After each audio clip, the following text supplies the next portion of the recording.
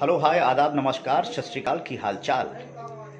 जब आप एक बड़ी फैमिली को बिलोंग करते हैं, बड़ी फैमिली इन द सेंस कि एक आपकी इमेज अच्छी हो, आपके फैंस पाए जाते हों, आपका मार्केट में एक नाम हो, आपकी वैल्यू हो, आपकी इज़्ज़त हो, आपके जो एक, आपका जो नाम है ना, नाम है ना, ब्रांड की तरह काम करता हो तो उस परिवार के लोगों को अपने उस ब्रांडेड फैमिली मेंबर की थोड़ी सी इज़्ज़त बचाने के लिए, उसकी कदर करने के लिए बहुत फूक फूक पर, फूक फूक कर कदम उठाने चाहिए।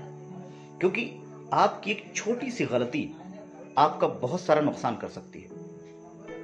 जैसे अभी शाहरुख खान साहब के साहबजादे ने किया, इस आर्यन खान की इस हरकत से शाहरुख खान साहब को एक बहुत ज़बरदस्त जो इमेज का जो टेंट लगा है, जो नुकसान हुआ है जिनकी इमेज खराब हुई है, वो तो हुई है। साथ ही साथ उनके बहुत सारे प्रोजेक्ट्स उनके हाथ से निकल गए होंगे। आने वाले वक्त में निकल भी जाएँगे। अभी तो फ़िलहाल एक बहुत बड़ी खबर सुनने में आ रही है कि बायजूस ने सारे उनके प्रोमोज रोक दिए हैं। और हो सकता है कि बायजूस उनके साथ में अपना एग्रीमेंट अपना करार भी खत्म कर दे। ऐसे ही जो अभी कुछ दिन पहले राज कुंद्रा साहब ने जो किया है, जो हरकत किया है, ये तो राज कुंद्रा साहब की जो इमेज पे जो डेंट लगा है, जो शिल्पा शेट्टी की इमेज पे डेंट लगा है, उस डेंट की रिपेयरिंग जल्दी से नहीं हो पाती।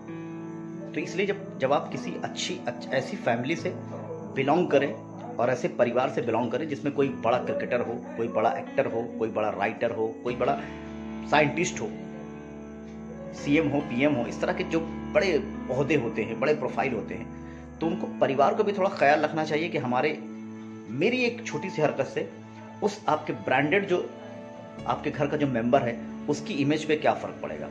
इमेज तो खराब होगी होगी बहुत सारे प्रोजेक्ट हाथ से निकल जाएँगे। पैसे का बहुत नुकसान होगा।